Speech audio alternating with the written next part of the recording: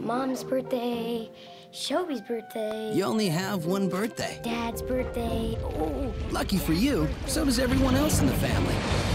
Any month, any day, any family member. You can stay free on your birthday at Orlando's Nickelodeon Family Suites by Holiday Inn when you book three nights. That's three nights for the price of two. Parents make your reservations today. It's the perfect way to make anyone's special day totally Nick.